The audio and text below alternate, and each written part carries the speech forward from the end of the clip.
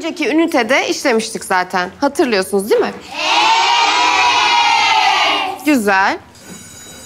Güzel güzel oynayın. Zil çalınca doğru sınıfa. Mertcan hadi ben çektim. Mertcan niye gelmiyorsun? Annesi Mertcan'ın seninle oynamasını yasakladı. Sana mı sorduk ha? Hadi gidelim. Mertcan.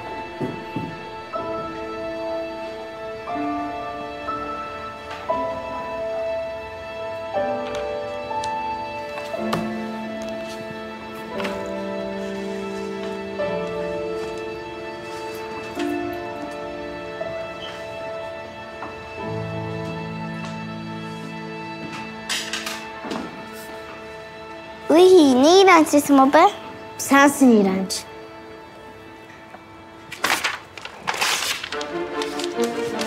Ne yapıyorsun be?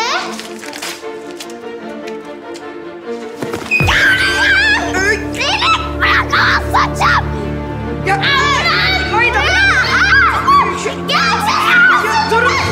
Sana kötülük yapan, dokunan nedeni falan böyle hak diye ısırıp koparacaksın tamam mı?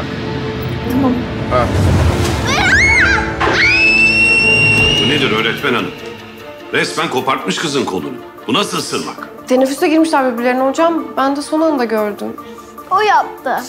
Hayır sen de benim resmimi yırttın. Susun bakayım. İlayda. Anne. Yavrum. Ah, ne oldu kızım sana? Ne o- Bu ne? Sevgi Hanım bu ne? Kim yaptı kızım sana bunu? Ha? Tamam Ayla Hanım bir sakin olursak. O yaptı. Sen de benim resmimi... Tamam tamam böyle oturun konuşalım. Buyurun. Yavrum bu ne? Gel bakayım. Of kızım bu ne? Ne yaptın sen? Ha? Ne yaptın sen? Bakma bana öyle. Ayla Hanım. Biraz sakin olur musunuz? Çocuklar kavga etmişler işte. Kavga kavga mı etmişler? Bu kavga mı sizce? Ya şuna bakar mısınız? Vallahi ne diyeyim Ayla Hanım haklısınız. Hocam. Anasını babasını çağırın hemen. Bu böyle, bu ne rezalet ya? Ayla Hanım.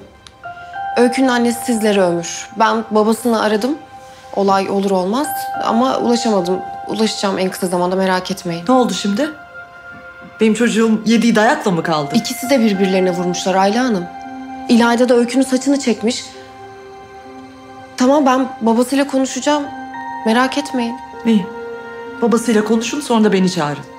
Böyle bir şey yok. Ayla, Böyle olmaz. Yürü kızım. Böyle bir şey yok. Ayla Hanım lütfen. Hadi kızım, hadi. Nerede oturuyor bu kız?